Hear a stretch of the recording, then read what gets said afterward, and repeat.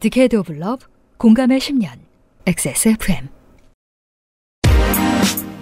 그알싫의 유승균 PD입니다. 필요한 소수의 경우를 제외하고 대부분의 민영화, 특히 토목건설이 끼어있는 민영화는 국민에게 도움이 되지 않고 나라는 돈을 더 많이 쓰며 관련자 일부가 부자가 됩니다. 윤석열 정부의 댐건설 이야기 잊혀지면 안 됩니다. 24년 8월 마지막 그것은 알기 싫다의 이야기입니다.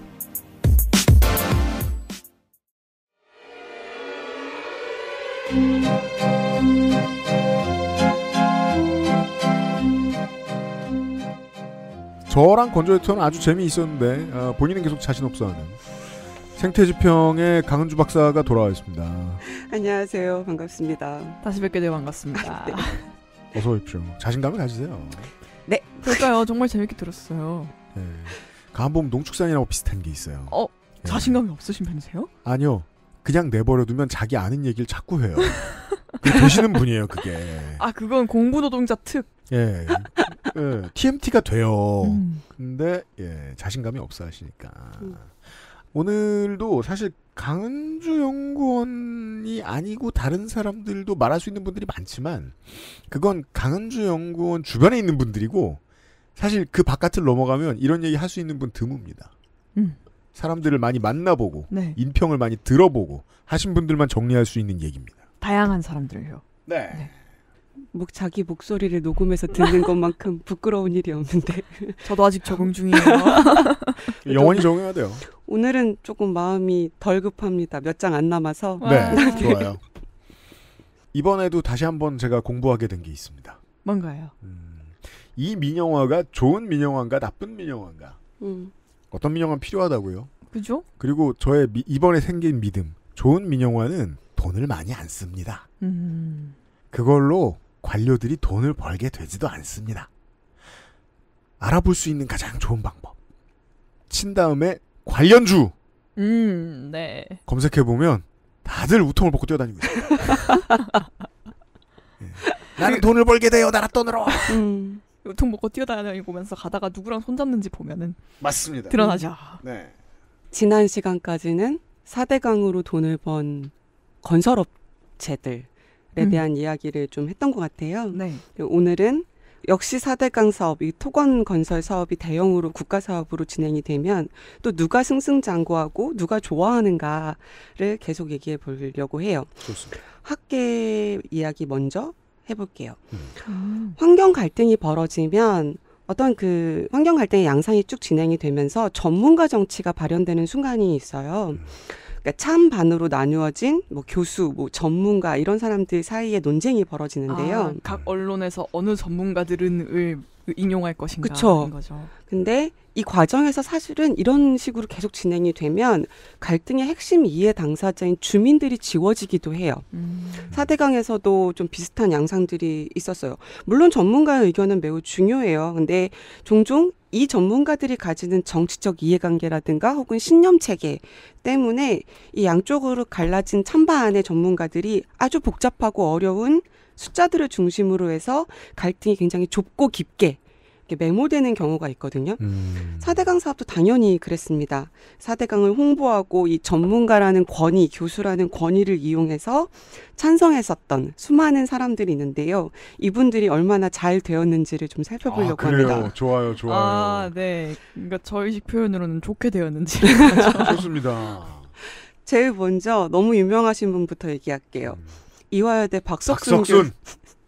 스크루박. 저 건조해서 스크루박 알아요? 아, 스크류 바 얘기하신 거 아니에요? 스크류 박이라고 그때 기자들이 처음에 붙여줬던 별명이에요. 네. 이게 소개 나중에 해주실 텐데 이분이 4대강을 찬성하시면서 한 무수히 많은 네. 어, 전혀 학술적이지 못한 놀라운 발언들이 있는데 네. 그 중에 가장 유명한 게 배 스크류가 돌아가면 강물이 깨끗해진다 였어요. 천에 네. 배가 왔다 갔다 하면 산소가 공급되기 때문에 네. 수질이 좋아진다. 무려 MBC 100분 토론에 가서 이야기를 했어요. 오, 세상에. 네. 근데 이제 이분은 그 스크루박이라는 별명을 본인도 너무 이상하다고 생각했는지 계속 자기는 그런 말을 한 적이 없다. 근데 그게 자기는 네. 스크루라는 단어를 한 말한 적이 없다라고 이야기를 하세요. 네. 실제로 프로펠, 프로펠러 아, 네, 뭐 크게 달라지지 않, 않는 것 같은데요. 네. 아무래도 프로펠러 박보다는 스크루박이 좀더 아, 그렇죠. 이름에 부끄럽긴 하죠. 그리고 본인 이름의 영역이랑도 좀 더 맞아 떨어지는 것 같고. 아, 저는 그래서 그냥 아 스크류 그냥 석순이라서 그냥 스크류라고 아니 냅다 이름으로 놀리시는구나 생각하고 있었는데 아니었군요. 아니요 이것 때문에 사실은 굉장히 유명해지셨죠. 빵 터졌어요 말 아, 그대로. 그랬군요. 음. 이렇게 운하 뭐 4대강 사업을 찬양하시고 이후에 국립환경과학원장이 되셨습니다. 대박입니다. 아, 그 이런 보은 그러네요. 이 기사가 있네요. 경양시 스크루박을 환경과학원장에. 그럼 그 다음부터 이제 그 국립환경과학원 1호, 2호 이렇게 써 있는 작은 배들이 하천을 왔다 갔다 하면서 프로펠러를 빙빙빙 돌려야죠. 네. 근데 그 이후에 이제 이명박 정부가 끝나고 난 다음에 이분이 또 실직을 하시고 교수의 생활로 돌아가셔야 되는데 네. 네. 그렇지 않으시고 현재는 지금 보수 유튜버로서 어, 굉장히 어, 그- 활발하게 활동을 하고 아, 계십니다. 김문수 road. 계속 구천을 떠돌고 계시군요. 네.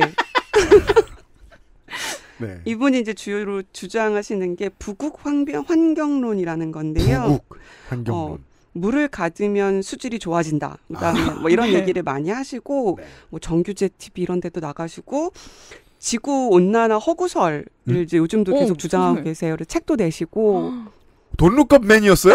아, 이화 여대생들은 얼마나 억울할까.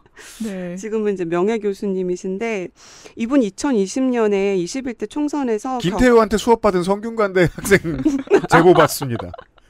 네. 총선 총선 나왔어요? 경, 네, 경산에서 예비 후보로 등록을 했는데 음. 결국 직업 정치인으로 성공하지는 못하시고 여전히 유튜버를 떠들고 계십니다. 이게 좀 슬프고 음. 우리 총선 선거 방송을 통해서 많이 입증된 거죠. 유튜버들이 지구당 다루는 방법을 몰라서 지역위원회 다루는 방법을 몰라서 네. 유명해도 공천은 못 뚫는. 음. 아, 아, 저 약간 그런 특집 해보면 재밌을 것 같아요. 이런 약간 좋게 된 폴리패서 분들에게 수업받은 제자 모임 같은 오, 심리 카운슬 느낌이 이렇게 동그랗게 둘러 앉아가지고 이제 오. 서로 고백하는 아, 거예요. 괜찮아요. 어, 중- 지도 음. 교수님이었으면 더더욱 우울하겠다 대학원생인 그죠. 경우에는 네, 다 같이 손잡고 나의 수강 신청은 잘못되지 않았다 이렇게 얘기하는 거죠. 네. 아니, 뭐- 멀리 있지 않아요. 아, 멀리 제 주변에 있어요. 아, 그리고 고려대학교 곽승준 교수님 이분 얘기 한번 해볼게요. 네. 어, 네. 이 사람이야말로 가장 적극적이었던 대우나 선도 저 음. 예. 전도사. 대운하 계획과 관련해서 경부 운하의 비용 편익 그러니까 BC 분석이라고 흔히 얘기하죠. 네. 1이 넘으면 이제 사업성이 있다라고 판단이 음. 되는데 무려 2.3이라는 계산을 발표를 했어요. 경제적 이익이 2.3배가 난다라는 경제학자이신 거죠. 한반도 대운하를 만들면 네. 그래서 외국 기업들이 줄을 서서 이 공사를 기다린다. 음. 민자 유치를 하면 이거 금방금방 된다라고 주장을 하셨어요. 이분이 이명박 정부 인수위를 거쳐가지고 청와대 초대 국정기획 수석 비서관을 지냈어요. 훌륭한 그리고 MB맨이에요. 이후에는 이제 장관급인 대통령 자문 미래기획위원회 위원장을 2009년부터 2013년까지 하셨거든요. 장관급의 대우를 4년간 받았습니다. 네. 근데 또 이분이 되게 재밌는 게 2012년에 경향신문에 이제 보도에 나온 건데 네. CJ 그룹에서 제공하는 굉장히 부적절한 향응을 접대받았다고 언론에 나왔어요. 향응이요. 그러니까 룸사롱과 아, 여성과 아 그걸 이렇게 고급스럽게 표현하는 말이 있군요. 그러니까 예를 들어 네. 물건을 받으면 부적절한 물건을 받은 건데 아 네. 향응이면 물건은 아닌 걸로. 음. 네. 근데 본인은 CJ 그룹하고 미디어법을 논의했다. 미래기획위원회 위원장으로서 이렇게 주장을 하셨는데 그 향응을 받은 걸 부정하지 않은 겁니다. 네. 그러게요. 네. 어, 그러고 나서 사실은 어, TVN에서 쿨과당이라는 프로그램도 진행을 하셨어요. 그렇습니다. 근데 여전히 정치에 계속 미련이 있으셨는지 음. 2017년에 이제 19대 대통령 선거 때 반기문 캠프에 계셨어요. 반에 투자합니다. 네, 그러다 그러다가 어, 도중에 하차했다는 뉴스가 나왔어요. 네. 아마도 뭐가 안에서 잘 이야기가 안 된 모양이에요. 네. 게다가 뭐 그 캠프도 중간에 드랍했고 어, 네. 향응을 충분히 안 해줬나? 그럴 수 있어요. 아, 국내 교수님들 훑었으니 해외에서 또 활동하시는 교수님 이야기를 해보겠습니다. 네. 무려 미국의 위스콘신 대학에 있는 건설환경공학과 박재강 교수님입니다. 음. 이분은 명예훼손으로 민영사 재판까지 하셨어요. 이유가 누구 하셨을까? 음. 반대하는 교수들이 있었을 거 아니에요. 대운하나 사대강을. 그죠? 이 반대하는 교수들은 연구 중심 대학이 아닌 소규모 대학에 재직하는 사람이다. 네. 그리고 세계적으로 인정하는 SCI급 등재 학술지에 논문을 한 편도 게재하지 못해서 학자라고 보기 어려운 교수들이다라고 명예훼손을 하셨어요. 그러니까 래퍼적 사고. 아. 그러니까 상대가 땡밥임을 증명하면 아. 내가 이긴다. 아. 결국- 이걸 학계에서 네, 결국 소송에서 져서요 반대하시는 교수님들에게 5천만 원씩 지급을 해야만 했습니다. 음, 사이퍼의 대가. 어 이분은 이때 당시에 네. 3년 뒤면 4대강 때문에 대한민국이 잘 살게 된다라는 주장을 하셨어요. 아 굉장히 오. 예언가족 기질이 있으시네요. 잘- 2013년에 조선일보하고 한국일보에 기고를 했어요. 네. 예. 정치적인 4대강 사업 감사. 국익 해친다. 음, 아, 알아보지 마. 이런 소리죠. 음. 좋네요. 네. 2009년에 이분이 낸 책 제목이 굉장히 압도적입니다. 뭡니까? 나의 조국이여 대운하를 왜 버리려 하십니까? 이게 2009년에 낸 거라고 하셨죠? 네. 2019년에 펜앤마이크에 국가를 파괴만 하는 좌파 정권 한반도 대운 하나 건설해라라고 칼럼을 썼어요. 아, 이게 맞아요. 제목이에요. 네. 대운 하나 건설해라. 아, 굉장히 급해지셨네. 근데 본인의 인생을 보면 이건 축원이잖아요. 축원. 네. 저주가 아니라. 그죠? 3년 뒤에.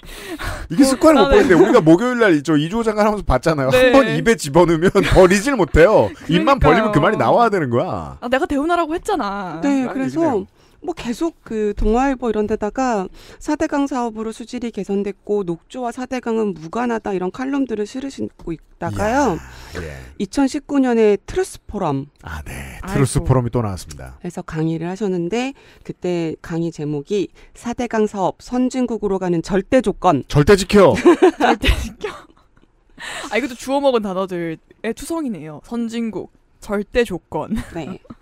근데 이후에 사실 이분이 광주 과학기술원장, 수자원공사 사장 이런 자리에 계속 지원을 하셨는데요. 그때마다 이 환경단체들을 중심으로 해서 반대 여론이 많아서 계속 무산이 됐어요. 결국 성공하지는 못하셨고 여전히 트루스 포럼과 유튜브를 또 전전하고 계십니다. 아, 구천을 떠도는 이인. 네. 이외에도 적지 않은 분들이 계십니다. 한반도 대우나 자문 교수로 경부나 낙동강 분과를 이끌었던 박태주 부산대 교수님. 어, 2008년 8월에 환경정책평가연구원장 되셨고요. 야, 알뜰하게 나눠줬네요, 공직을. 2008년 9월에 이제 한반도 대우나 연구회에서 활동하셨던 황기영 홍익대 교수님은 한국교통연구원장이 되셨습니다. 이게 과가 맞나요? 교통연구원장? 그러게요. 갑자기 육지로 올라가 버리셨네. 보트로 가버리셨네. 그러게 말입니다. 한나라당 운하정책 자문 교수인 김계연 인하대 교수님, 그 다음에 한반도 대운하 연구회에서 활동했었던 송재용 홍익대 교수님은 각각 수자원 공사 이사로 발탁되셨습니다. 음, 그쵸. 제가 참, 이게 여, 여전히 궁금한 게, 이 교수님들 보통 테뉴어 있잖아요. 음, 종신계약이 있잖아요. 맞습니다. 학자들은 그런 거 주잖아요. 네. 무슨 왜 새로운 직업이 필요하고 교수 연봉 적지도 않을 텐데, 그렇죠? 어, 맞아요. 네. 예, 왜 여기서 더 높이 올라가고 싶어 하는 것인지 굳이 저런 맞지도 않는 말을 해가면서 저도 사실 이해는 잘 못하겠어요. 학자로서의 자신의 어떤 성취감을 달성한 이후라고 생각하는지 더 공부할 게 없어서 그런지는 잘 모르겠지만 네. 저는 교수가 아니라서 잘 모르겠습니다. 네, 지금 일단 여섯 분의 교수님이 지금 줄줄이 소개되셨어요. 네. 네. 뭐 지금 현재 국가물관리위원회 위원장인 배덕규 교수님은요, 최근에 있죠, 2024년 7월 29일 동아일보 기고글 해서요, 새로운 댐도 시급히 추진돼야 한다. 어, 2010년대 중반 이후에 국가 주도의 댐 건설 사업이 사실상 정체된 상태다. 이런 상황이 지속되면 앞으로 큰 홍수와 가뭄이 발생했을 때 속수무책이 될 수 있다. 음. 이런 글을 쓰셨어요. 저- 그리고 네. 이게 왜 이상한 말인지는 지난주에 설명해 드렸습니다. 그죠, 그죠. 네. 근데 교수님들도 연구비와 연구 용역이 필요할 수 있죠. 그래서 이런 사업이 생기고 돈이 풀리는 사업이면 당연히 뭐 정부 용역의 연구비라든가 왜 그 교수님들 음, 어, 이상한 교수님들은 저, 저 연구나 설계 용역 같은 거 받으면 차 바꾸고 이런 사람들 있잖아요, 왜. 계시죠, 계시죠. 예. 뭐 그런 분이 실수도 있다고 누군가는 생각할 수 있습니다. 음, 뭐 설계 용역도 있을 수 있고요. 네. 타당성 연구도 있을 수 있고요. 뭐 여러 가지 학술과 관련된 이권이 있을 수 있을 거고요. 음. 그리고 또 박석순 교수님처럼 정치를 하고 싶은 어떤 욕망이 음. 함께 작동했을 수도 있어요. 네. 재미있는 건요. 2013년에 경향신문 칼럼 중에 그 이상돈 명예 교수님 전 의원님이시죠. 이상돈 의원. 네. 이분이 뭐라고 썼냐면 4대강 사업 공사가 한창일 때 수자원 학회는 차기 정권에 대비해 어떻게 대처할 것인가를 논의한 음? 바가 있다. 자, 네? 4대강 사업 공사가 진행 중인데 만약에 정권이 바뀌거나 네. 아니면은 박근혜 정권이 들어서서 친이계를 내몰아서 친이계의 대표적인 사업이었던 4대강을 멈추고자 할 때 어떻게 대처할 것인가? 네. 뭐 어떻게 대처해? 쿠바로 가야지. 미수교국으로 가자. 우리는 목숨을 건질 수 없다. 근데 그게 아니라 사- 이 사업을 더 해야 돼. 절대 지켜야 되니까. 이런 철통 같은 마음으로 어떤 가이드북을 쓰셨을 수도 있고. 음. 여튼 뭔가를 고백하는 건 사실이에요. 네. 큰일 났다면서. 학회 네. 차원에서 이런 논의를 했다는 것도 사실은 너무 놀라운 아, 일인? 거예요. 거의 없는 거죠, 이게. 그 사실 세상에 폴리페서가 다 죽으면 네. 이 사람들 남겠네요. 음. 음. 음, 수자원학회 차원에서 이런 논의를 했다고 합니다. 우리가 아까 찬반의 전문가 논쟁을 말씀을 드렸었는데요. 그렇지 네. 않은 분도 계세요. 건설기술연구원의 김희태 박사의 이름을 기억하시는 분들이 있을 수 있을 거라고 생각해요. 음. 2008년도 당시 다음 아고라에 건설기술연구원에서 내가 하고 있는 이 4대강 관련한 연구가 나에게 정부는 나에게 영혼이 없는 과학자가 되라고 강요하고 있다. 이분 유명해졌었어요. 네, 4대강 네. 정비 사업은 대운하 사업이다라고 글을 썼어요. 그리고 이분한테 막 시민사회에서 상, 저 시민단체 네. 상 주고 그랬었던 어. 기억이 나요. 네, 그리고 연말에 정직 3개월 징계 받고 망했어요. 인사평가 최하위 등급을 받았어요. 음, 그 이- 보복당합니다. 그리고 이 징계는 10년 뒤인 2018년에나 돼서야 처- 징계가 철회가 됩니다. 뭐 커리어 다 날리고 늙었죠, 뭐 그럼. 네, 연구도 제대로 못 받고 음. 그러니까 결국에는 국가가 하는 사업에 찬성한 사람들은 승승장구하고 고위직 관료가 되고 했지만 이걸 내부에서 고발한 사람은 네. 10년 동안이나 아. 고통받을 수밖에 없었던 거죠. 네. 그리고 이분이 그 박석순 스크루바 교수님이 음. 약간 이름도 없는 이상한 연구원이라면서 깐 그분이신 네, 거네요. 맞아요. 음. 참 마음이 아픕니다. 네. 어, 이런 어떤 학자, 뭐 부역자라고 뭐 때로는 표현하기도 하는 곡하가세하는 폴리페서님들이 있는가 하면 이 사업으로 힘이 세진 관료들도 있습니다. 네. 그걸 저희가 광고를 듣고 와서 아직 늘어놓으려면 한참 남았습니다. 확인해 보시죠. 그것은 알기 싫다는 맥주의 친구는 나의 친구 바보상회 예비맘과 태아의 안전을 생각하는 빅그린 내 곁에 종로가 더 쌍화 촬영할 때 쓴 그 원료 그대로 평산네이처 진경옥에서 도와주고 있습니다. XSFM입니다. 히비스커스 꽃 추출물 65%, 유기농 올리브, 10가지 베리 추출물, 이 모든 걸 하나로 빅그린 히비스커스 샴푸. Big Green 약산성 비건 샴푸 빅그린 히비스커스 전하, 선대부터 내려오던 그 방식 그대로이옵니다. 8시간 넘게 달여냈느냐? 예, 어, 8시간 넘게 달인 후 10분씩 4번 김을 빼고 불순물을 제거하였습니다. 음, 맛이 좋구나. 어마마하게 진상해도 괜찮은 게냐? 예, 남녀노소 누구나 드실 수 있도록 오랜 연구 끝에 나온 한방차이옵니다. 좋구나. 이 한방차를 더 쌍화라 명하노라. 현대인에 맞춘 프리미엄 한방차. 더 쌍화. 정제수를 넣지 않고 엄선된 원료 그대로 만들었습니다. 대량 생산하지 않고 항아리에서 120시간 중탕했습니다. 고전의 재발견. 진경옥. 평산네이처 남해안 청정 바다에서 잡아올린 즉시 가마솥 했죠. 신선하고 짜지 않은 멸치, 국물용 중대 멸치, 볶음 술안주용 중멸치, 아이들 간식엔 새소 멸치. 바보상의 멸치 3종 세트.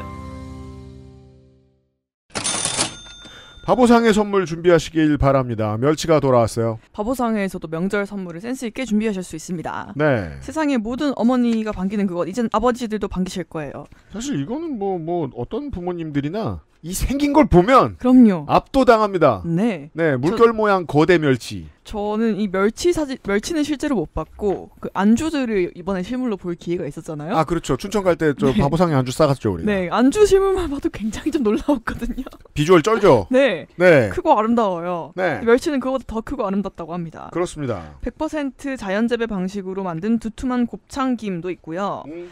일반 김이 바다에서 떠다닌다면은 곱창 김은 바위에서 붙어 자라는 김이라고 하네요. 네. 그래서 원물이 달라서 되게 두툼하고 쫄깃한 맛으로 유명하다고 합니다. 그리고 죽박멸치. 네, 죽방 멸치는 이제 대나무로 만든 말뚝을 통해 어획하는 멸치죠. 음. 그래서 비늘이나 몰 비닐이나 아니 비늘이나 몸체에 손상 비닐 안 들어갑니다. 걱정 마세요.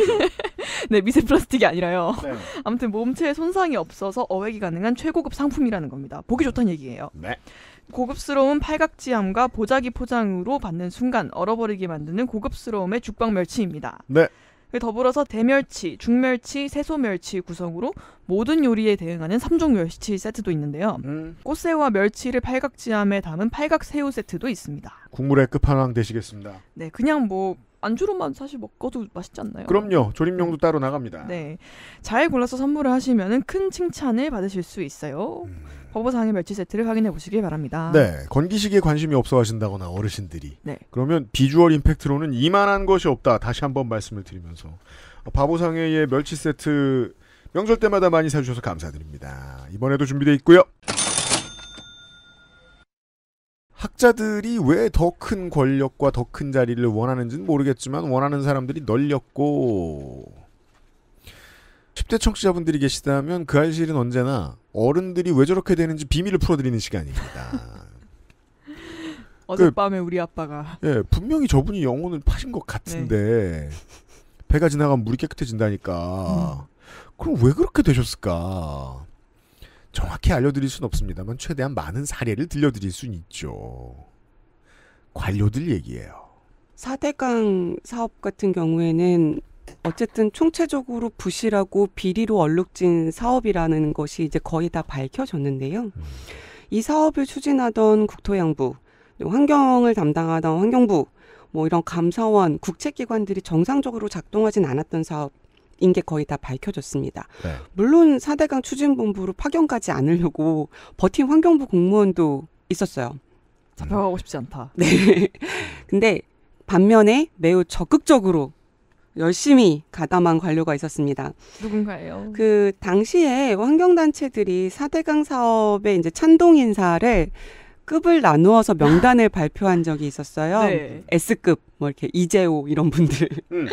근데 이제 그때 당시 A급 찬동 인사로 국토부의 어, 4대강 추진본부에 있었던 두 팀장님이 있습니다. 음. 이성애, 정의규. 4대강 추진본부 정책총괄 팀장님하고 어, 팀장님을 이제 담당을 했었던 이 두 분인데요. 먼저 이 분들은 이명박 박근혜 정권 내내 국토부의 주요 보직을 맡으면서 승승장구하셨습니다. 네. 제일 먼저 정책총괄 팀장을 하셨던 이성애 팀장님은요, 1급 관리관인 국토부 도시정책관을 거쳐서 이 이름이 굉장히 긴데요. 대도시 광역교통위원회 위원장에 2022년 7월 달에 임명이 되셨어요. 뭔가 다들- 엄청 꿀 떨어지는 자리 같은데요. 그러게 여기 다들 정말 무트로 가시네요. 그리고 새만금 개발청 여기, 여긴 묻히고 네. 그리고 지금은 무려 국가철도공단의 이사장이 됩니다. 그러니까 국토부 도로정책과장부터 해서 정보정책관, 기술안전정책관, 도시정책관, 새만금 개발청 차장까지 거쳐서 계속 일을 하시고 있어요. 아래에서 올라간 공무원으로는 끝판왕까지 갔네요. 어우, 그리고 정의규 팀장님 같은 경우에는 국토부 수자원과장으로 근무를 하시다가 지, 지난 시간에 말씀드렸던 것처럼 물관리 일원화가 네. 되면서 환경부로 이직을 음, 하셨어요. 국토부 라인. 그죠? 네. infested 환경부. 네. 감염된 환경부. 음. 이직 직전에 2급 이사관 승진하시고요. 환경부에서 물환경정책국 물환경정책과장 그래서 2021년대 한강홍수 통제소장으로 가셨습니다. 한강 홍수통제소장. 아, 그러니까 그런 속셈도 있겠군요. 그 환경부로 이직할 때 좀 더 큰 권한을 지어주려고 가는 길에 승진을 시켜주는 네. 음, 국토부 애들이 들어가서 환경부를 휘어잡아 네. 이런 의도로 음. 그러니까 이분들이 공적 조서, 그러니까 훈장도 받고 했는데 공적 조서를 보면 뭐라고 돼 있냐면 어, 목표 대비 공기를 빨리 달성했다. 아, 네. 그리고 언론 대응을 잘했다. 뭐 개- 그때 이포보에서 대통령이 참석하는 그 준공식 이런 행사를 되게 잘했다. 이런 게 공적 조서에 나와 있어요. 1급 부역자. 어, 키 시키는 거를 후딱후딱 잘했다. 네, 그리고 빨리빨리 네. 뭐 언론 대응이라고 하면 아닌 말로 어, 어, 사대강을 반대하는 언론들을 어떻게 했는지는 알 수 없죠. 그러게요. 관료들도 이 적극적으로 찬성하고 가담했었던 관료들은 뭐 처벌을 받았다기보다는 오히려 더 잘 됐어요. 근데 기본적으로 어떤 산업이 커지면 그와 관련된 관료들의 힘도 커지는 건 당연한 일이죠. 그리고 이번 사대강과 관련된 관료들 같은 경우에는 그런 정권에 적극적으로 충성을 하면 승진도 하고 잘 살 수 있고 산하기관의 기관장으로도 갈 수 있다는 선례를 남겼다는 측면에서 그걸 긍정적이진 보고 않아요. 있습니다. 네. 네. 네. 사람이 다른 어떤 것보다도 생존 본능은 디폴트인데 이런 식으로 하면 생존할 수 있어라는 가르침을 받는 거 이건 정말 나쁘단 말이에요. 어, 산업이 커지면 관료들의 힘도 커진다라는 거를 올해 환경부 계획을 보면 알 수 있습니다. 지난 10년간 답보되었던 홍수방어 기반 시설, 국가 주도의 댐 건설, 지류 지천 정비 등을 본격 착수한다고 하고요. 막 지을 거야. 수자원 관련 예산이 50% 올해 증액됐습니다. 아이고 세금도 없는데. 그러게요. 네. 그러니까 관료들 입장에서는 자신이 다룰 수 있는 정책의 예산이 많이 계속 늘어나는 거죠. 산업도 증가하고 네. 당연히 공무원의 힘도 세지는 일인 거죠. 세상 반갑죠. 그렇죠. 예. 그리고 관련된 업체 만날 때도 목에 힘이 더 들어가죠. 압류. 예. 음. 이 4대강 사업에서 뭐 국토부도 그렇고 환경부도 그렇고 전에 말씀드렸던 것처럼 KEI 같은 검토기관이라든가 국토교통부 산하의 하천 관련한 위원회라든가 국책기관이라든가 이런 모든 기관들이 법률과 기본 정책에 기반해서 자신의 역할을 충분히 했으면 이렇게까지 사태가 커지거나 이렇게까지 비리로 얼룩진 사태가 되진 않았을 거예요. 아 근데 그 듣다 보니 이게 참 안타까운 것 같아요. 그러니까 당연히 관료들이 뭔가 그 공무원들이 막을 수 있는 거는 없어라는 생각이 없지 음. 않나라는 생각이 제가 들으면서 들었거든요. 제가 음. 그런 것밖에 못 봤으니까. 음. 뭔가 정부가 뭔가를 집권을 하고 나서 추진을 하려고 하면은 그냥 밑에 있는 사람들은 그냥 깔아만 깔 수밖에 없는 거고 공무원이는 음. 그냥 뭐 어차피 또다 로테이션 하는 시스템이니까 그냥 어떤 아무 책임감도 없이 그냥 할 수밖에 없는 일이다. 그리고 기왕이만 부역하면은 더 올라갈 수는 있다. 그렇죠. 그게 디폴트가 아닌가라는 생각이 들으면서 드는데 원래는 그게 아니라는 그걸- 거죠. 제대로 되면. 네, 그죠. 그러니까 행정은 기본적으로 부처 간의 네. 협력과 견제 를 할 수 있도록 되어 있고 네. 위원회라는 뭐 민간 위원이 들어와서 참여하는 견제의 역할도 할 수 있도록 거버넌스가 구축돼 있기도 음. 하고요. 그리고 사실 공무원의 어떤 업무와 관련해서는 행정학의 영원한 난제 중에 하나가 어. 아닐까 싶어요. 인사 네. 조직, 공무원 직무 동기 관련한 이야기들은. 음. 근데 정권이 들어와서 여기로 줄 서라. 음. 이 사업을 할 테니까 공을 세운 순서대로 좋은 곳으로 보내주고 진급을 시켜주마. 나중에는 공천도 받고 TVN 프로그램 진행도 하고 블라블라 이렇게 얘기를 해주면 그거 냄새 맡고 먼저 달라붙는 순서대로 달라붙어서 뭘 할 수 있을 거라는 거예요. 음. 그 인력을 거기에 특화된 인력들을 모으는 데 있어서 천재적이었다고 봐야겠죠. 이 당시를 돌아보니까 말이에요. 음. KI 같은 경우에는 그래서 환경부 산하 국책기관이 아니라 총리실 산하거든요. 아 견제를 위해서요. 네, 그러니까 음. 환경부의 어떤 입김이라든가 영향력으로부터 좀 더 자유로워지라고 검토기관, 환경영향평가서의 검토기관으로 있는 건데 이때도 불려가서 사전에 다 얘기하고 이렇게 아. 이렇게 써라 합의하고 한 거죠. 그래서 감사원 감사 보고서에도 KI가 앞으로 독립성을 잘 지킬 수 음. 네. 있도록 해라라는 권고 아. 사항이 있어요. 환경정책연구원에 대해서. 시스템이 원래 그런 게 아니라 망가진 거군요. 그렇죠. 이렇게 사실은 건설회사부터 교수님 학계 그리고 관료들까지 이런 걸 이제 우리 윤석열 대통령님이 제일 싫어하는 카르텔 네. 카르텔. 한 산학관 카르텔이 사대강을 통해서 성장을 해왔고요. 네, 지난- 그러네요. 자리도 해먹고 음, 돈도 해먹고 네. 음. 음, 뭐 사실은 지난 정부 때 내내 좀 눈치 보고 있다가 이제 댐 14개와 함께 화려하게 이 카르텔의 굳건한 성장을 기대하고 계시는 것 같습니다. 그러게요. 그러니까 한, 한 7, 8년 잠복해 있던 거예요. 음. 음. 스타크래프트 2의 시작 시나리오거든요. 네. 전쟁이 끝났다더니 요즘도 어디 사막 동굴에서 저그가 나온다는 아. 소문이 들려요. 후소편의 시작들은 예. 거의 그렇죠. 네. 예. 그 칼날 여왕이 제국, 음. 제군을 데리고 돌아오기 전까지 그런 소문만 오. 있었던 거예요. 어... 오, 어떻게 할 수 있죠? 그 저그들을 잡아가지고 이렇게 밑에 보면 네. 2014년 수자원 관리과장 이렇게 써 있거든. 아, 저 이번에 제가 영화관에서 최근에 에이리언 오. 새로 개봉한 걸 네. 보고 왔거든요. 음. 똑같은 것 같아요. 네. 아, 어딘가에. 네. SF 디스토피안 다 그렇군요. 내가 아는 그 외계인이구만. 네. 아, 네. 그것들이 아직 살아 있었구만. 음. 그러니까 이런 얘기를 할 수 있을 것 같아요. 그래서 4대강 어떻게 해야 돼? 그런 질문들이 사실은 있을 수 있다고 그래요. 이 얘기도 생각해요. 해볼 만해요. 음, 4대강 사업에 대한 평가와 반성은 저는 매우 중요한 우리 사회의 과제라고 생각을 해요. 네. 왜냐하면 이 사업에 대한 평가나 반성이 제대로 되지 않았기 때문에 그리고 보수 정권과 보수 언론을 중심으로 해서 4대강 사업이 뭐가 잘못됐어? 라고 계속 주장해 오면서 신규댐이라는 새로운 에일리언? 등장한 게 아닌가 싶어요. 지난 정부에서 말씀드렸다시피 4대강 제자연화를 천명을 했고 16개의 보를 가동하지 않았어요. 음. 계속 물을 흐르게 했어요. 그러면서 모니터링을 하자.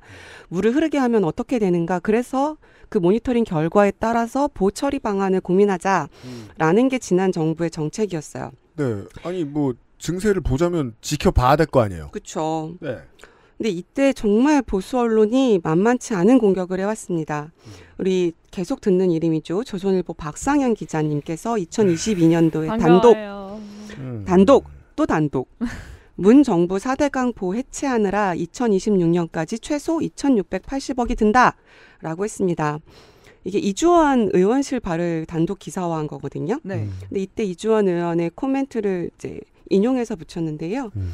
멀쩡한 보를 해체한다며 세금을 낭비한 데다 일단 시작한 사업은 중단이 어려워서 예고된 지출을 줄이는 건 불가능하다라고 했습니다. 이거 MB 디스하는 거 아닙니까? 아니 22조를 썼는데 이쪽에서 네. 어, 해체 혹은 지켜보는 일에 2,600억을 쓰는 게 돈 돈이냐 이게? 아, 고도외과. 예, 고도에까지 이게 네. 여튼 계속 뭐 4대강 보재건이라는 단어로 검색하면 엄청나게 많은 기사들이 나와요. 그리고 4대강 사업이 겸해됐다. 이념 논쟁이다. 강을 이념적으로 봐서는 안 된다. 이런 얘기를 계속 해왔어요. 네. 어, 그럼 어떻게 봐야 돼요? 아, 근데 이게 이익적으로 이념이 봐야 되나요? 네. 그렇죠. 돈적으로. 예. 왜냐면 이념 갖고 싸운 갖고 싸운 사람은 아무도 없거든요. 응. 어허이. 아, 환경이 그럼 이념인 건가요? 그러면은 환경을 지켜야 된다고 하면 이념인 왜요? 저 지금 독립기념관장 보면 독립도 이념이잖아요. 아, 그렇죠. 그건 그래요. 이념에 치중하여 독립을 외치지 마. 나 네. 이익에 치중해서만 북림을 바라도록 해. 네. 정부 말대로 기후 대응을 위해서라면 하천 관리 계획이 필요하죠. 그리고 그 안에서 4대강 보호 관리나 처리 방안도 모색되어야 됩니다. 최근에 세종보 재가동을 반대하면서 환경단체들이 지금 100일 이상 천막 농성을 하고 있거든요. 아 네. 그래요. 네. 네. 지난 정부 때인 2017년에 세종보 가동을 멈추기로 하고 수문을 계속 열었어요. 음. 그런 다음에 모니터링을 했더니 물이 흐르고 난 다음에 모래톱도 생기고 천연기념물이나 멸종 위기종들이 돌아온 거예요. 결과가 좋았네요. 어, 네, 그래서 세종보를 해체, 해체하자. 그러니까 16개 중에 어떤 보는 해체를 하고 어디는 일부 해체하고 어디는 어, 계속 물을 흐르게 하자 이런 결정들을 했어요. 근데 정권이 바뀌었죠. 세종보를 다시 가동해서 물을 가두겠다. 그리고 수력 발전도 하겠다. 세종시에서는 이렇게 해서 세종부에 다시 물을 가두면 수상 레저 공간을 만들어서 관광지를 만들겠다는 계획도 아, 발표했습니다. 네. 다들 수상스키 타지도 못할 거면서 허리 아파가지고. 레저 공간이 문제 모르겠지만 뭘 타는지 어쨌든 뭐 요트 얘기도 있었고요. 뭐 공원 얘기도 있었습니다. 네, 아, 공원도 참 좋아하네요. 네. 국민 건강 증진의 진심이셔. 네. 2번 세종시장. 네. 그죠. 세종시장 바뀌었죠 처음으로. 네. 국민의힘으로. 맞아요. 음. 아, 네. 세종부 문이 닫히면 이 거기에 흘러가는 합강 수위가 지금보다 한 2, 3m 더 올라가게 되고 그럼 그 위쪽에 있는 일대의 모래톱이나 하중도라고 하는 데 있죠. 강 네. 한가운데 있는 섬이 다시 물에 잠기게 되기 때문에 음. 생태적으로 악영향을 미친다는 게 환경단체의 주장이고 지금 천막 농성을 하고 있습니다. 그저 물을 가두는 기능도 그럼 더 없어지겠네요, 사실상. 그러니까 지난주에 설명해 주셨던 것을 짧게만 다시 말씀드리면 네. 어 이제 치수를 하는 문제는 농촌은 농촌의 방법이 따로 있고 도시는 도시의 방법이 따로 있다. 네. 도시는 이미 인공적인 것들이 너무 많아서 물 가는 길도 인공적으로 충분히 더 만들어줘야 되는데 자연은 자연의 방법대로 따랐을 때 더 효과가 있는 경우가 음. 훨씬 많더라. 네. 예, 라는 걸 말씀드렸지만 토건을 하고 싶은 사람들은 그걸 절대로 듣잖아요. 안 들려, 안 들려, 안 들려 하고 난 있다고요. 댐이 좋단 말이야. 네, 난 지을 거란 말이야. 이게 얼마인 줄 알아? 아, 얼마인 줄 알아가 정말 속마음인 것 같아요. 음, 네. 그래서 세종부 개- 재가동 하려고 공사 상반기에 다 마무리했고요. 이제 비가 그치는 우기가 끝나는 9월 달에 다시 수문을 닫을 계획이라고 아이고야. 알려져 있습니다. 신임 환경부 장관도 인사청문회 때 재가동 하겠다. 이런 얘기를 했고요. 아이고야. 음. 우리 지난주에 슬쩍 예측했었잖아요. 이 사람들은 물난리가 나는 걸 더 좋아한다. 왜냐하면 물난리가 난다는 이유로 댐을 또 지을 거니까. 맞아요. 음. 아, 무한의 우르보로스의 댐이네요. 그러니까. 그렇죠. 좀 뒤에도 네. 말씀드리겠지만 그런 걸 표현하는 단어가 있죠. 재난 자본주의. 아, 어. 그러니까 재난이 네. 나고 나면 그 재해를 이용해서 네. 민영화를 한다거나 건설 사업을 한다거나 왜 이권 사업이 들어온다거나 하는 아, 사고를 명목으로 하는 거죠. 그러니까. 네. 아. 그 되게 예를 들어 이제 일본의 경우에 얘기할 때 동일본 대지진은 네. 민영화로 처리할 수 없었어요. 왜냐면 기업이 들어가 죽을 기업이 어디 있습니까? 음, 어차피 해결할 능력도 음, 없고 네. 돈이 안 되죠? 그러면 전 세계의 자연을 더럽히기로 하는 결정을 하죠. 음. 자민당을 볼 때 우리가 어서 그러니까 우리 보수 정치가 어서 배워온 버릇으로 저러는가를 익히기가 되게 좋거든요. 좋은 샘플이군요. 예. 민영화 할 수 없으면 그냥 모두 다 죽자라는 생각을 해요. 민영화 할 수 있죠? 그럼 또 어떻게 얘기하죠? 모두 다 죽자. 네. 그렇죠. 민영화를 하면 그리고 나는 안 죽고 다른 사람이 죽는 거잖아요. 그죠? 네. 어차피. 그러니까 결국에는 돈을 가진 사람과 가지지 네. 못한 사이에 격차를 벌리는 일인 음. 거죠. 사대강 사업이 실패한 국고 낭비라는 것을 결코 인정하고 싶지 않기 때문이기도 하지만 그러게요. 새로운 건설 사업을 하기 위해서 이렇게 온몸으로 사대강을 아, 방어하고 있습니다. 재난 자본주의. 그러게요. 쉬지 않고 본인들이 살아있음을 보수 언론을 통해 알려왔다니까요. 네. 환경 정책을 다룰 때 환경 네. 문제의 특수성을 이야기하는 경우가 많아요. 환경이라는 거는 공공재라는 특성을 갖고 있죠. 음. 공기는 누구의 것도 아니고. 네. 근데 그리고 또 하나는 비가역적이거나 어, 불가역성을 이야기하기도 해요. 음. 어, 환경이 한번 망가지면 그걸 다시 회복하는데 아주 오랜 시간이 걸리거나 아주 많은 비용을 들여야 한다는 것이 환경 정책의 특수성이라고 얘기를 하거든요. 좀뭐 공장에서 뭐 생산해낼 수 있는 게 아니니까요. 저 그래서 이게 답답해지는 거예요. 강이 어떤 역할을 할 수 있을지를 알아보는 데만 해도 지난 정권의 5년은 짧았거든요. 음. 음. 그러면 대증요법이죠. 사람으로 말하면 네. 증상 쳐다보고 있는데도 마음 급한 애들은 야 안 되잖아, 안 되잖아, 빨리 댐, 음. 빨리 댐. 그러면서 얼마든지 흔들 수 있어요 상황을. 되게 민주주의를 해킹하는 짓이라니까요. 음. 음. 사대강 사업도 굉장히 오랜 시간이 걸려서 회복해야 하거나 또 많은 사회적 갈등과 비용을 들여야 할 것 같다는 생각은 듭니다. 그럼에도 어, 필요하죠.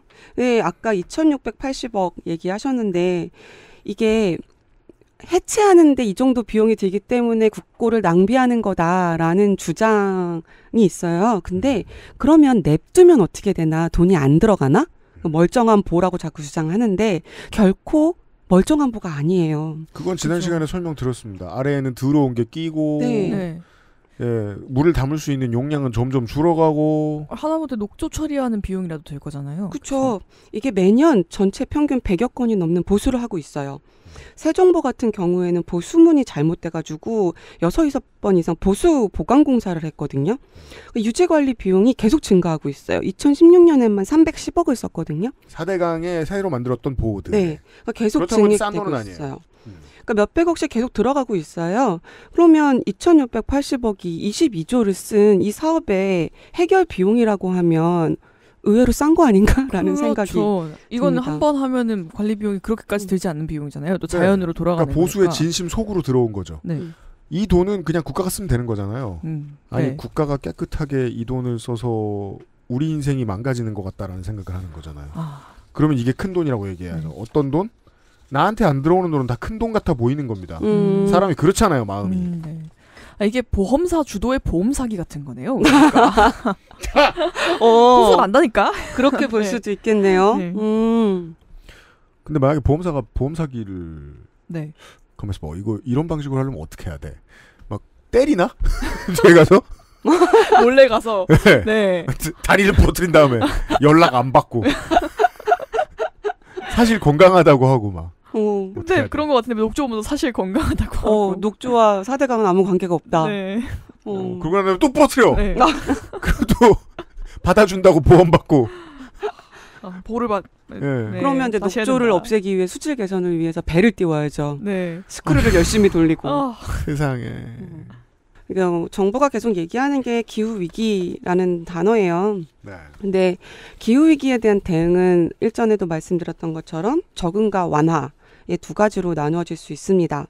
기후 위기 완화를 위한 방법은 우리가 흔히 아는 방법들이겠죠. 어, 이명박 대통령이 말한 대로 저탄소, 저탄소, 녹색 성장이에요. 저탄소 녹색 경제를 실현하는 일이죠. 탄소 감축 줄이는 일, 뭐 경제 구조나 사회 문화를 좀 바꾸는 일도 지속적으로 필요해요. 네. 뭐 영원한 순- 캠페인. 네. 음. 순환 경제 막 이런 얘기들. 쉽지 않은 일이고 하루아침에 되지도 않을 거예요. 네. 개인부터 정부까지 굉장히 많이 고민하고 실천하고 실현해 가는 게 과제고요. 이런 것들을 하라고 사실은 유권자로서 정치에 계속 요구를 해야 하는 일이기도 하죠. 네. 근데 또 이게 정치에 적응되기 힘든 성격을 이미 지적해 주신 거예요. 음. 오래 걸리는 일은 팔리지 않고 오래 해서 효과가 나왔죠? 그러면 그 효과를 사람들은 체감하지도 않습니다. 음. 실제로는 예를 들어 뭐 사람들이 덜 죽는다. 네. 모르죠. 그렇죠. 그냥 나는 계속 살아 있었으니까. 음. 그게 이게 그게 안티백서들의 마인드를 우리가 이해하는 방법이거든요. 아, 오, 네. 네. 내가 안 죽었으니까 음. 문제가 없는 거예요. 그 사람이 죽죠? 그럼 문제가 없어요. 왜? 죽었거든. 그죠. 문제가 있음을 파악하기엔 그는 너무 죽었거든. 반만 죽은 게 아니고 그냥 죽었어. 그러니까 기후 위기에 대한 정치 대응이 어려운 지점에 대한 설명이셨습니다. 네, 너무 동의해요. 기후 적응이라고 하는데 이걸 이제 환경부가 신규 댐을 건설하는 가장 큰 논리로 얘기를 합니다. 지금 당장 극한 오후나 뭐 폭염을 막을 수 없다면 그 피해를 최소화하기 위한 방법이다라고 얘기를 해요. 네. 근데 우리가 계속 얘기를 했듯이 반지하 가구 안전 대책 만들어라. 음. 온열 질환자가 증가하면 노동 시간이나 이런 걸 조정을 해라. 네. 어, 노동 환경을 바꿔라, 노동 조건을 바꿔라 이런 것들이죠. 이게 사실은 기후 적응이에요. 음. 필요한 일이네요. 네, 도시의 온도를 낮추기 위해서 나무를 열심히 심자, 음, 공원을 네. 만들자라는 것도 포함이 돼요. 기후 적응에서 제일 중요한 게 이 기후 위기에 누가 제일 취약한가를 확인하는 일이에요. 음. 뭐 주거, 노동, 보건, 먹거리 이런 다양한 층위에서 취약계층들을 확인하고 이들에 대한 사회 안전망을 만드는 게 바로 기후 정의이기도 하거든요. 보건복지부가 음. 하지만 환경 정책일 수도 있는 거예요. 네. 네. 쪽 방촌에 에어컨을 뭐 어떻게 설치해 줄 네. 거냐 뭐 이런 것들. 어, 쿠, 쿠팡 네. 물류센터에 네. 노동자들을 위해서 에어컨을 잘 설치하도록 음. 하는 일, 낮 시간에 야외에서 일하는 건설 노동자들에게 불- 휴식 시간을 주는 일, 기후 이런 거예요. 필요한 일. 음. 네, 그걸 하라는 거예요. 그러면 비가 너무 많이 와서 댐을 만들어야 된다라는 건 기후 적응이 아닌 거죠. 잠실 야구장 얘기를 다시 해볼게요. 음. 잠실 야구장에 비가 너무 많이 와서 올해 우천 취소가 너무 많았어요. 너무 더워서 야구를 할 수가 없대요. 올해 처음 KBO에 도입된 게 폭취가 나왔어요. 어, 네. 나왔어요. 폭염 취소가 두 경기인가 됐어요. 세 경기 나왔어요. 네, 울산 경기장에서 네. 그라운드 온도가 너무 높아서 선수들의 안전 그리고 관중들의 안전. 그러니까 네. 문수구장 그라운드가 뭐 50도까지 올라갔대나 뭐, 뭐 음. 그렇다는 얘기를 들었었던 것 같아요. 네. 그럼 기후 적응은 뭐냐면 어왜 이제 기억하시는 줄 알지? 그 LG 원정 경기였죠. 네. 사적인 LG 팬은 LG밖에 몰라. 네. 어 울산에 천연잔디가 아니어가지고 맞아요. 그러면 강렬한 기억. 네. 어 근데 폭염 취소라는 게 처음 등장을 했다라고 기후 하면 적응인 거죠, 이것도. 음. 어, 네, 이게 기후 적응이 이제 룰을 만들어야죠. 일정 정도 어느 온도 이상이면 어, 그 네. 경기 감독관이 가서 음. 얘기를 해야죠. 이 정도 온도면 선수들이 슬라이딩 하는데 너무 위험해. 네. 그리고 이런 거면 이제 오늘은 날씨가 이 정도로 예상이 되니까 관중들이 일찍부터 뭐 음. 안내를 한다거나 그런 게 필요하고 이게 계속 된다고 하면 너무 더운 기간 한 일주일이나 열흘은 경기를 안 할 수도 있어요. 야외 구기 종목들은 기본적으로 지구 온난화에 많이 대응해서 맞춰가려고 애를 쓰고 있는 편이에요. 네. 그 KBO도 예전에는 주말 경기 5시에 하다가 요즘은 6시로 네. 늦춰졌잖아요. 경기 음. 시간을 더 늦추는 방법도 음, 있을 수 네. 있죠. 그러니까 새로운 룰, 제도들이 만들어지는 거예요. 음. 더워지는 날씨에 맞춰서 이것도 기후 적응이겠죠. 그래서 지금 잠실은 돔구장이잖아요. 새로 짓는 건. 네. 이것도 기후 적응이에요, 일종의. 뭐 그럴 수 있죠. 네. 거기에 이상한 거 넣고 그 주변에 탄천과 함께 개발하겠다는 계획이 있어서 좀 슬픈데. 그 서울시장 바뀌어야 됩니다, 이번에. 이 그대로 두면 안 됩니다. 첫삽 떴을 때. 빨리빨리 이거 저 저 저 수정해야 됩니다. 네. 네. 뭐 비가 너무 많이 오면 잠실 야구장 이제 배수 시설 음, 네. 열심히 만들어야죠. 이런 게 기후 적응인 거예요. 상암동으로 가는 게 아니라는 거죠. 음, 네. 일상을 이 기후에서 어떻게 지속할 것인가. 어, 환경부의 일이 아닌 이유 중에 하나가 뭐냐면 말씀드렸다시피 주거, 노동, 보건, 먹거리 모든 문제와 같이 연관돼 있기 때문에 이건 굉장히 복합적인 사회 문제이고 부처 간 합동으로 기후 적응 계획을 준비하고 있어요. 이행이 안 돼서 그렇지. 음, 그죠. 한국이 음. 저 관공서 제일 못하는 게 부처 간 협업이죠. 그렇죠. 그렇죠. 그 약간 폭염에 따른 아까 말씀하신 건설 노동자들의 휴업 이런 걸 얘기하려면 고용노동부랑 같이 얘기를 해야 그쵸. 되는 거고. 음. 제가 저의 책 비보 좌회정 어머 광경을 깜짝이야. 광고를 살짝 아니 언제 쓴 짜잔. 옛날 책을 지금 책 광고 야책 광고 하는 사람 얼마나 깜짝이야. 비보호 좌회전입니다. 네. 이 양반이 되게 젊으셨을 때 책을 쓰신 적이 있습니다. 네. 네. 거기서 제가 뭐라고 썼냐면 위험은 모든 사람에게 평등하다. 음. 부자도 가난한 사람도 더운 건 똑같아요. 그럼요.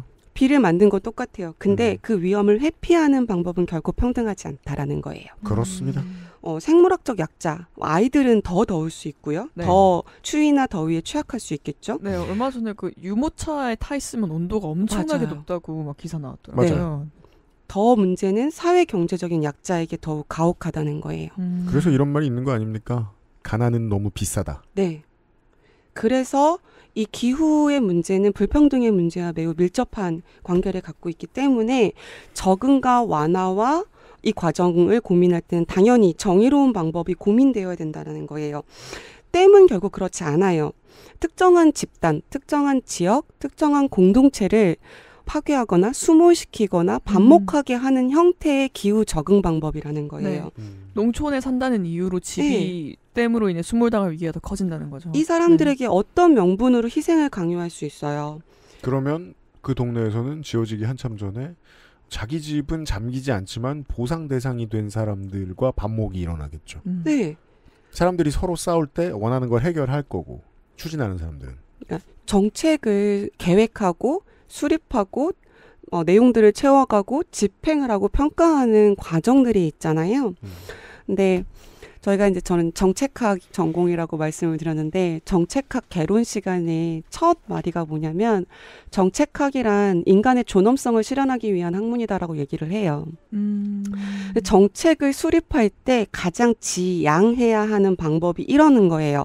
부정의한 방법의 정책 설계. 어, 이쪽 동네는 희생해도 돼. 어, 우리 SK에 물을 대야 돼. 어, 서울에 물난리가 나니까 이쪽 동네는 수몰시키자. 이런 형태의 정책은 가장 나쁜 형태의 정책 설계 방법이라고 할 수 있는 거죠. 음, 어떤 진영에서는 그 정의가 너무 이념적인 정책 접근이라고 얘기할 것 같긴 어, 하네요. 제- 서울에 네. 전기가 더 필요하니까 경남에 원전을 또 지어. 음. 네. 네. 그런 거예요. 이걸 이제 아까도 말씀드렸다시피 재난 자본주의. 그러니까 재난이 발생하면 이 기회에 돈 벌 궁리를 하는 사람들이 모두 몰려와서 목소리를 높이는 거죠. 음. 그리고 이들이 갖고 있는 이익의 카르텔들이 굉장히 빠르게 움직이는 거예요. 네. 그러니까 결국 이 기후 대응을 위해서는 어딘가를 숨을 시켜서 캠핑장을 짓는 게 최선이냐, 이게 제일 시급하냐 라고 물어볼 수밖에 없는 거죠. 과거의 물관리 정책은 말씀드렸다시피 하천을 직선으로 만드는 일이었어요. 바닥을 긁어내고 제방을 쌓고 댐을 쌓는 일이었는데 한국만 그런 건 아니에요.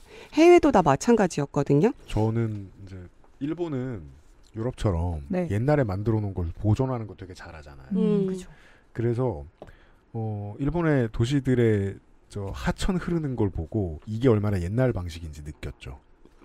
진짜 시내를 지나가는 하천이 처음부터 끝까지 공구리잖아요. 아 맞아요. 돌담 같은 거 이렇게 네. 쌓아놓고. 그래서 강물이 더럽습니다. 맞아요. 기본적으로 네. 우리 한신 타이거즈 팬들 자꾸 죽는 이유가 뭐죠? 플레이오프 올라가고 우승하면 도톤보리 강으로 뛰어 들어가는데 수질이 안 좋아서 죽어. 그건 인위적인 하천 관리를 했기 때문. 이건 자명한 편. 네, 그러니까 일본의 도시 하천들을 보시면 많이 그런 거 느끼실 수 있을 거예요. 해외도 사실은 그런 걸 많이 했어요. 근데 계속 홍수가 나거나 뭐 문제가 생기거나 생태계가 망가지거나 수질이 오염되니까 정책 방향을 바꿉니다. EU의 경우에는 하천의 이제 댐이나 준설, 바닥을 긁어내는 일, 제방 같은 것들을 하지 말고 이거는 생- 하천 생태계를 파괴하는 일이다라고 해서 2000년에 물관리 기본 지침을 제정을 해요. 그래서 어, 25년 전이에요 벌써. 회원국들한테 다 뭐라고 하냐면 인공적으로 변화한 강을 어, 인간의 간섭이 가장 적은 형태로 복원해라. 라고 얘기를 합니다. 그래서 음. 유럽이 전체적으로 제방과 댐을 허물고 있어요. 그래서 물난리가 나면 정부가 보상을 해줘요, 그냥. 거기다 아, 댐이나 뭐 이렇게 제방을 쌓는 게 아니라 그 그거 있잖아요. 약간 이집트 방식? 이 인간들이 이제 본능적으로 하는 토목 건설이 점점 커지고 인간이 건설의 존재가 된 다음에 음. 자꾸 강으로 가는 거예요. 음. 점점 강가로 가는 거예요. 우린 강을 지배할 수 있다. 예. 그러다가 이제 나중에 바닷가로 가잖아요. 바닷가 끄트머리로 가면 마이애미 끝에 이렇게 그 저 해변을 따라 쭉 늘어서 있는 그 아파트들 네. 그렇게 되는 거예요. 근데 앞에 지형을 그대로 두자 자연스럽게 두자라고 생각하면 그 사람들은 그냥 죽거든요.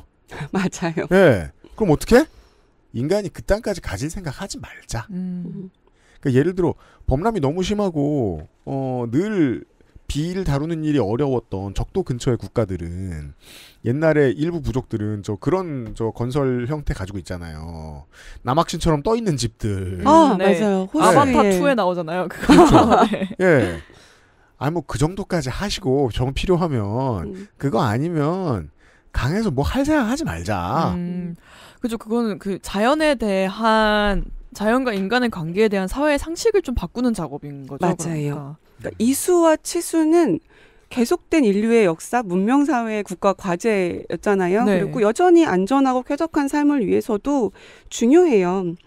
근데 이걸 이렇게 열심히 어 우리가 우리는 콘크리트라는 걸 개발했어 음. 라면서 제방도 쌓고 댐을 쌓으니까 이게 물폭탄이 되는 위험도 있는 거예요. 어, 하천 생태계에 대한 이해가 좀 달라지기도 했고 그에 따른 정책 방향도 많이 바뀌었어요. 그래서 하천 관리를 이제 선 중심에서 면 중심 관리로 넘어가자. 그게 무슨 의미입니까? 그러니까 지- 어, 지난 시간에 말씀드렸던 것처럼 범람지를 만드는 음. 그러니까 아, 그렇죠. 직선으로 흐르게 하는 게 아니라 저류지라고 네. 저류지를 네. 만들도록 하는 그러니까 선처럼 흘러가는 아, 하천이 아니라 하천은 면으로 흘러가는 거다. 자연이 하던 대로 두게 하고 음. 인간은 좀 뒤로 물러나면 네. 인간도 덜 힘들고 네. 그 얘기.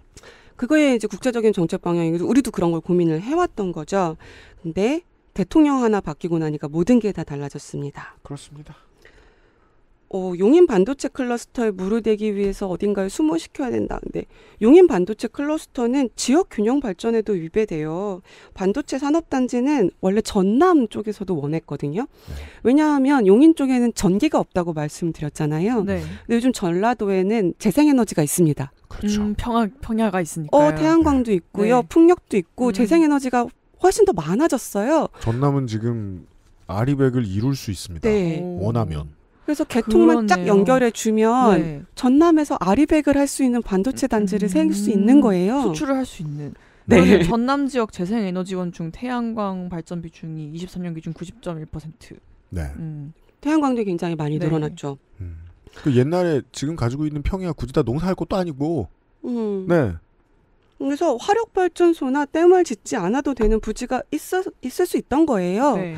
굳이 그래서 용인 반도체 클러스터는 왜 용인에 지어야 하는가? 음, 그러게요. 아, 그 전남의 재생에너지 발전 설비 용량이 전국 대비 20.1%. 네, 굉장히 높아요. 네. 인구 대비하면 어마어마하게 높은 네. 거죠. 그렇네요. 산단에 물이 부족하다. 물이 부족하면 용수를 공급할 수 있는 방안도 많아요. 해수 담수화도 꽤 성공하는 편이고요. 그러니까요. 그러니까 원천 기술을 되게 많이 가지고 있는 네. 거잖아요. 한국이 네. 해수 담수하는. 네. 하수 재이용 방법도 있어요. 환경부가 이거 되게 자랑 많이 했어요. 하수, 하수 재이용한다고? 네. 그왜 안 해? 그러 그러게 제일 쉬운 방법처럼 들리는. 본인들이 광고한 게 2022년 한 해 동안 하수의 총량, 그러니까 하수 전체 총량 중에 11.4%를 재이용했다. 그래서 수돗물 요금 대비 계산을 해보면 한 8,500억 정도를 자기네가 절약을 했다. 그런 능력이 있는데. 네, 하수 재이용 비율이 굉장히 15.4%면 꽤 높은 거거든요. 아유, 그거 반도체 다 주는 거는 뭐 반대 안 합니다. 네, 뭐 삼성전자에서도 열심히 뭐 업무 협약 업무 협약 체결했다고 자랑을 했네요. 그 쓰면 되잖아요. 네. 근데 그거 말고 왜 정책이 댐이지? 왜 북한강을 건드려? 그러게요. 네. 그 정책의 우선순위가 좀 달라진 거죠. 이제까지 다 말씀드렸던 내용은 우리가 되게 오래간만에 쓰는 단어인 것 같아요. 토건 카르텔. 그렇습니다. 오랫동안 안 썼던 것 같아요. 에이리언. 아, 네. 네, 100년 동안 사막에 숨어있던 에일리언 얘기를 해본 겁니다. 광고 듣고 와서 마무리할게요. XSFM입니다.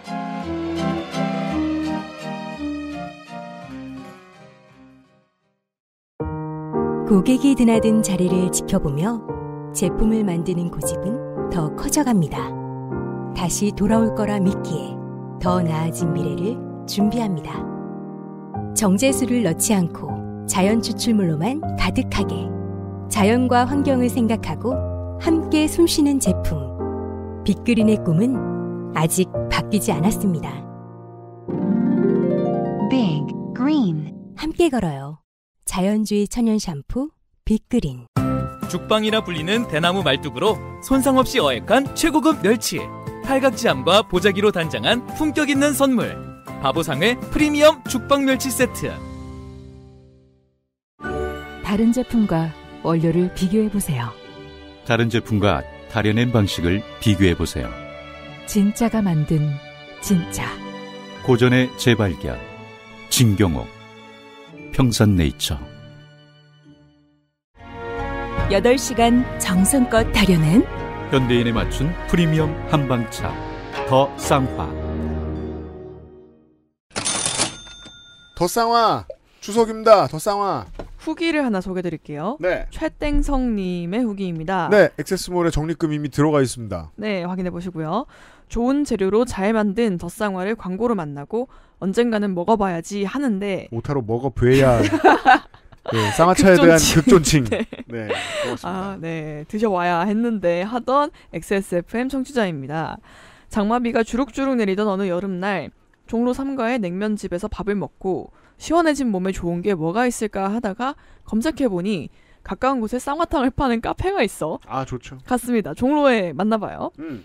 입구에서부터 잘 달인 한약 냄새가 나길래 믿을만 하겠구만 하고 들어가서 주문을 하고 같이 간 일행과 이런저런 이야기를 하는데 계속 눈에 보이는 무언가가 있었습니다.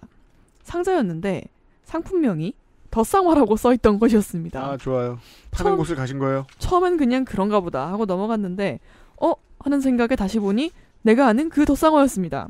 까만색 포장에. 네. 그렇습니다. 저는 덧쌍화를 만드는 한의원에서 운영하는 저는? 그곳은 본인이 카페셨나요? 너무 감동받으셨나봐요. 그러게요. 그렇습니다. 그곳은 덧쌍화를 만드는 한의원에서 운영하는 카페였던 것이었습니다. 그런 곳이 하나 있다는 건 제가 알고 있었습니다. 가보진 못했지만. 주문한 음료가 나오고 한입 하는데 끈적이지 않은 단맛에 깊은 한약재의 맛이 입에 맴돌면서 추워진 몸이 확 달궈지는 게 느껴졌습니다. 아유, 그또 차가운 거 먹고 따뜻한 거 먹으면 좀 좋죠. 그렇습니다. 네, 저도 늘 랑- 냉면 먹으면 뜨아를 먹어요. 음. 같이 나온 다과들도 맛이 좋았고요. 전병이 나왔을라나요? 그래야죠. 직접 먹어보니 확 믿음이 오길래 바로 부모님 댁에 쌍화탕 한 박스 보냈습니다. 감사합니다. 배송 받으신 부모님이 드셔보시더니 너무 고급진 맛이 난다면서 아껴 먹어야겠다고 하셨네요. 좋은 제품으로 효도한 것 같아서 더욱 뿌듯했습니다. 다음에 또 살게요. 고맙습니다. 이 무더위에 누가 쌍화차 마시냐? 고 비웃던 사람들아. 이제 쌍화의 계절이 왔다. 네. 거기다 추석이다. 선물로 좋다. 이 마지막 마디는 아마 조물주님께서 쓰셨겠죠. 조물주가 쓴 겁니다. 네, 가- 반말이면 조물주입니다. 네, 굉장히 신나셨습니다. 후기를 읽고. 그렇습니다. 최땡성님 매우 감사드리고 부모님 댁에 찾아가실 때 덧상화를 미리 보내놓으시고 잣 말린 아, 계피 네. 정도로 어딘가에서 챙겨가시면 좋겠습니다. 완벽해집니다. 좋은 추석 선물은 잔소리를 줄이죠. 그렇습니다. 계란은 노인네들 집에 있을 테니까 노른자는 그쪽에서 준비할 겁니다. 덧상화 준비하십시오. 추석이 다가옵니다.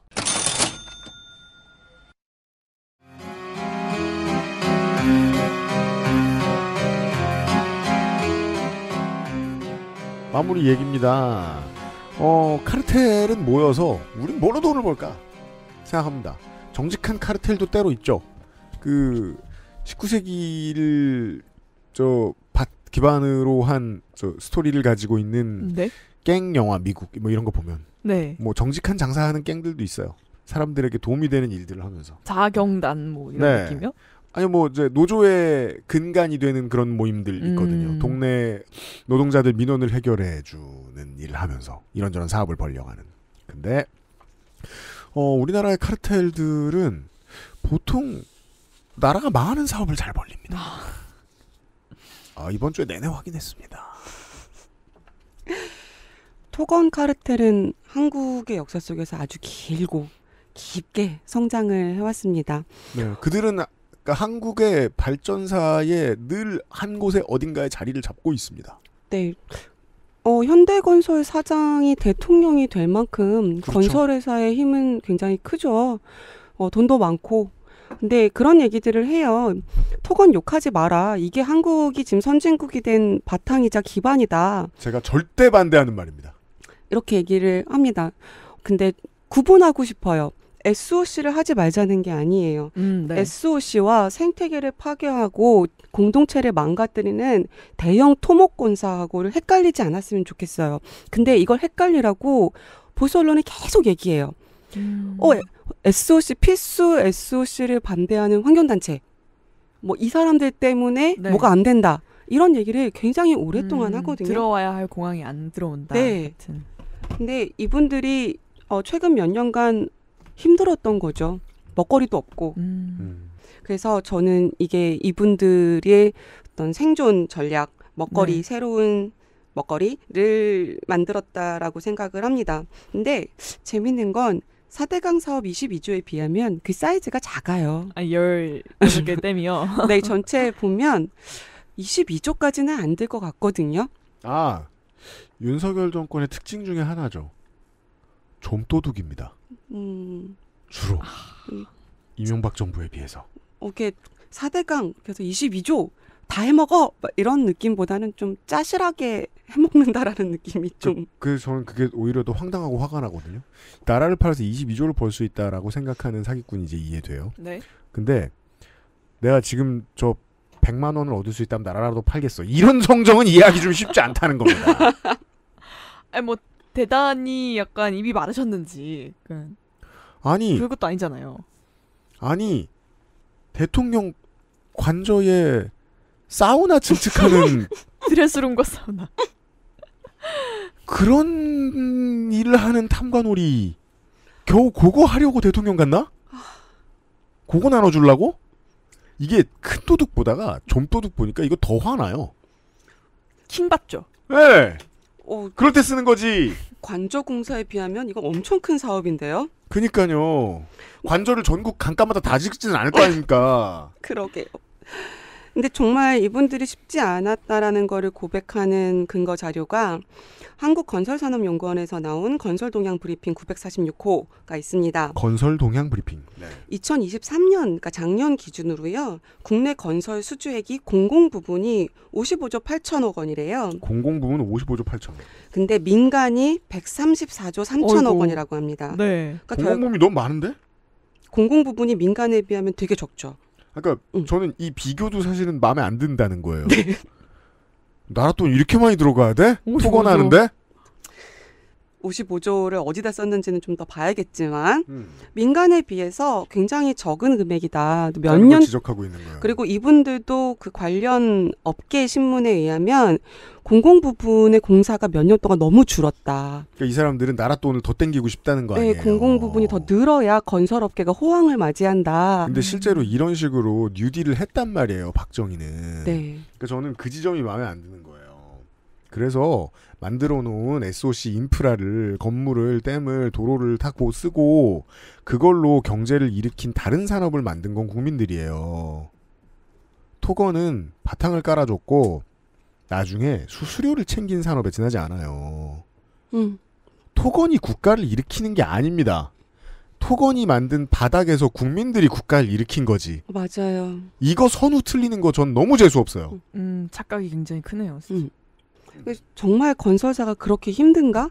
신임 환경부 장관이 첫 정책으로 발표할 만큼 7월 30일 날이 댐 이제 신규 댐 발표였잖아요. 네. 그리고 8월 8일에 서울 그린벨트 해제와 주택 공급 발표가 있었습니다. 그랬죠? 아 진짜 힘든가 보다. 음. 이 생각이 들었어요. 당연히 그린벨트가 해제되면 땅값, 공사 뭐 이것도 건설 산업과 관련된 다양한 이권들이 몰려들겠고 그린벨트 해제는 토건의 로비 없이 이루어질 수 없는 것입니다. 절대로. 네, 그, 그 주변부 개발 당연히 따라오겠죠.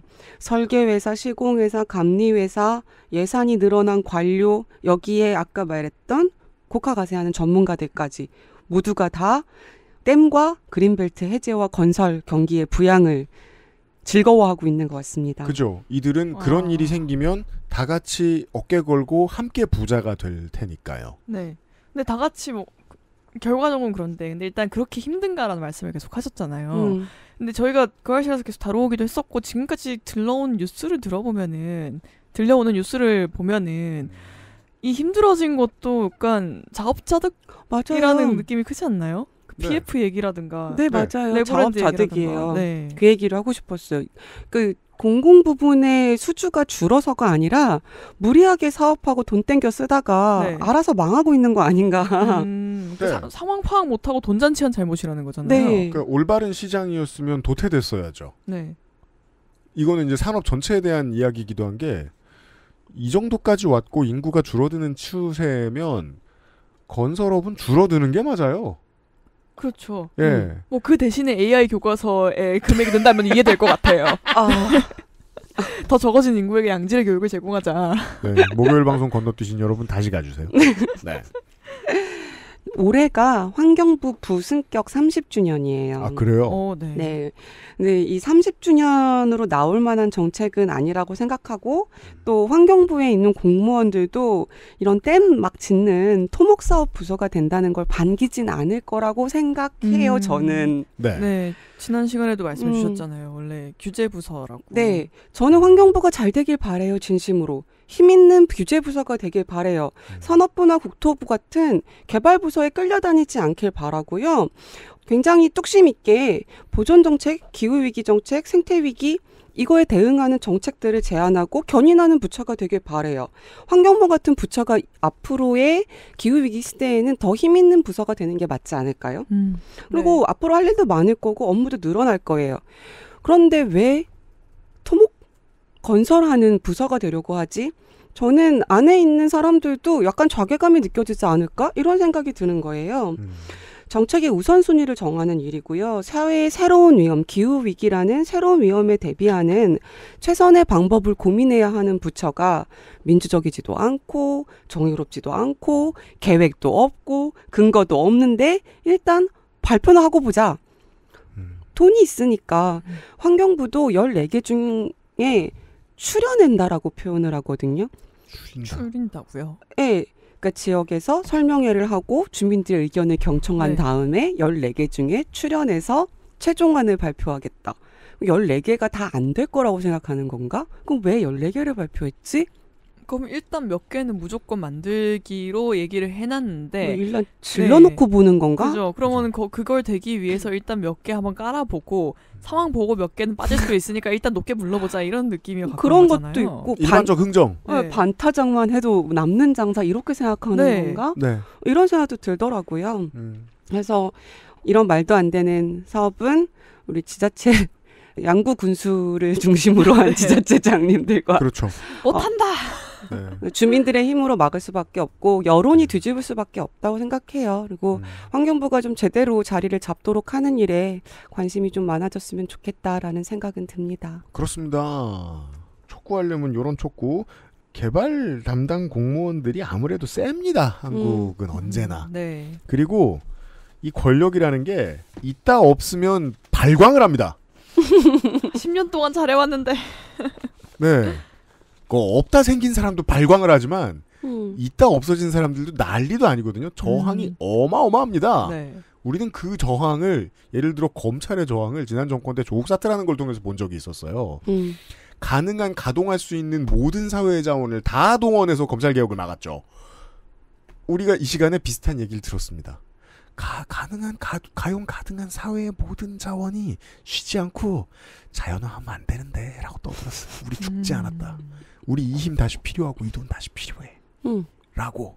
그래서 당장 이루어지지 않을 거예요. 다만 정책 방향 같은 걸 이제 만나는 정치인들에게 얘기해 줄 필요는 있을 것 같아요. 음. 개발 부서 최대한 축소하자. 네. 음, 기후 위기 시대에는 기후 위기에 맞는 정부 부처 개편이 필요하다고 음. 생각해요. 산업화 시대의 부서, 부처를 계속 유지하는 게 이 새로운 위험에 대응할 수 있는 적절한 행정인가? 개발의 시대를 끝내자라는 표현은 전 좋아하지 않아요. 음, 개발을 점점 더 느슨하게 적게 하자. 음, 아니 유럽이나 미국만큼은 안 돼도 우리나라도 SOC든 뭐 도로든 건물이든 그냥 오래 쓰자 좀. 최소한 그 정도 얘기는 해야 될 시점이 이제는 왔다는 음. 거죠. 네. 아니 부동산으로 사회간접 자본으로 공공투자 건설로 돈이 안 가면 어떡해? 딴 데 좋은 데 갈 겁니다. 네. AI 교과서 말고요. 네. 또 이런데 돈이 쓸데없는 데 가려고 그런다. 음. 어, 그랬을 때 어, 강은주 박사를 다시 보시던가. 네. 네. 들어주셔서 감사합니다. 고맙습니다. 감사합니다. 어, 563회 그것은 알기 싫다를 마무리 짓고 저희들은 여러분들이 방송을 들으시는 시간에 동성로에서 곱창을 먹고 있을 것이고 어, LG 트윈스는 우승 못합니다. 들어주셔서 고맙습니다. 아, 울면서 끝내시면 어떡해요. 안녕히 계세요. 안녕히 계세요. 웃었잖아요. XSFM입니다. I D W K